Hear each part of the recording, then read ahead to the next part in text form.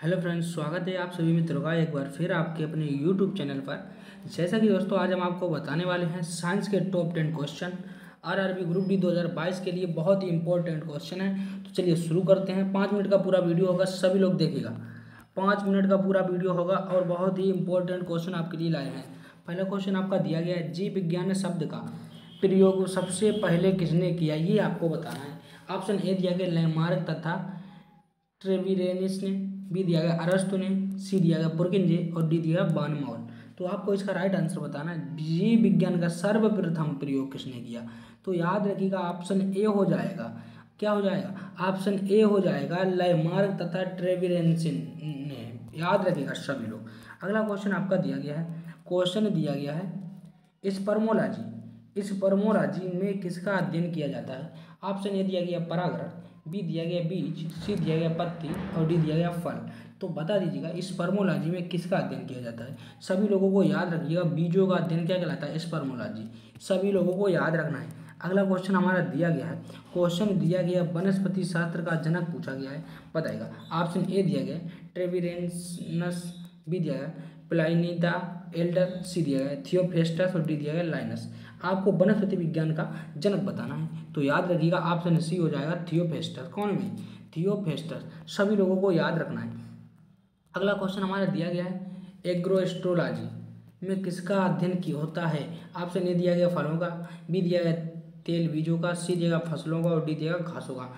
एग्रोएस्ट्रोलॉजी में किसका अध्ययन किया जाता है, आपको ये बताना है। तो याद रखिएगा एग्रोएस्ट्रोलॉजी ऑप्शन सी से हो जाएगा फ़सलों का अध्ययन। क्या होता है? ऑप्शन सी हो जाएगा फ़सलों का अध्ययन किया जाता है। अगला क्वेश्चन हमारा दिया गया है। क्वेश्चन दिया गया है, चिकित्सा शास्त्र के जनक पूछे गए। कौन? चिकित्सा शास्त्र के जनक किसे कहा जाता है? ऑप्शन ए दिया गया है पोकेटस बी दिया गया गैलन सी दिया गया अरस्तु और डी दिया गया थियोपेस्टा तो आपको बताना है, चिकित्सा शास्त्र के जनक कौन है? तो याद रखिएगा, ऑप्शन ए हो जाएगा हिपोक्रेटस हिपोक्रेटस सभी लोगों को याद रखना है। क्या हो जाएगा? ऑप्शन ए हो जाएगा। अगला क्वेश्चन हमारा दिया गया। क्वेश्चन दिया गया पादप विज्ञान की शाखा कवक शास्त्र में किसका अध्ययन किया जाता है बताइएगा। ऑप्शन ए दिया गया पादप बी दिया गया फफूंद सी दिया गया शब्दार्थ डी दिया गया कीटों का। कीटों का।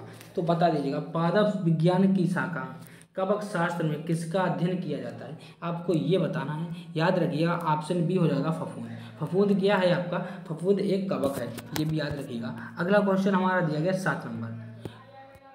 क्वेश्चन आपका दिया गया, बाटनी शब्द की उत्पत्ति किसे कहा जाता है? बताएगा ऑप्शन ए दिया गया लेटिन बी दिया गया पुर्तगाली सी दिया गया ग्रीक और डी दिया गया फ्रेंच आपको बताना है, बाटनी शब्द की उत्पत्ति किसे कहा जाता है? तो सभी लोगों को याद रखना है ग्रीक भाषा। क्या ग्रीक को कहा जाता है बाटिन शब्द की उत्पत्ति। अगला क्वेश्चन हमारा दिया गया है। क्वेश्चन दिया गया है, निम्नलिखित में से कौन सा एक युग्म सुमेलित नहीं है, बताइएगा। आपसे नहीं दिया गया फलों की खेती, पोमोलॉजी।